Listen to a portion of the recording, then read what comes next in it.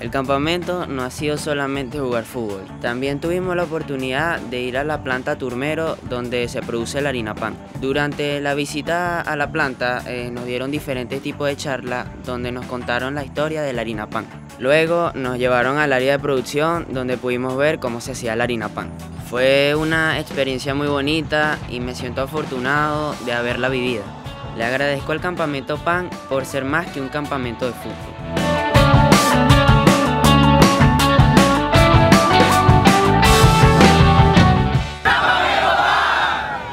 Campamento PAN. Alimentamos la pasión por el deporte.